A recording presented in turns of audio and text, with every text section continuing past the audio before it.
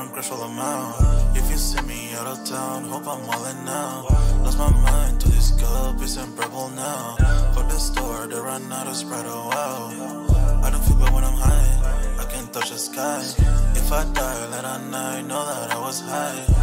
So many nights. If physical retail is dead, Foot Locker certainly didn't get the memo. So pretty much is how the article starting off. It says the chain sneaker store, which celebrated its 50th anniversary this year, sent a strong signal to brick and mortar stores, which that's what they call the foot stores, right? Um, still matter with the August reopening of its 34th Street location in NYC. Um, the store, long a hub for high heat drops and um, for uh, for lineups has interactive stations. Very few. Okay, so we had talked about them doing those type of stores where I guess are you this is my thing it looks like a self checkout from like the screen or whatever but i feel like they still got to have somebody behind the fucking counter it just looks more modernized and what you guys can see up on the screen in the uh, background real quick and what i would have on a thumbnail is like um almost they got one of those display glass cases up front too like i'm very curious what the fuck they're gonna keep in there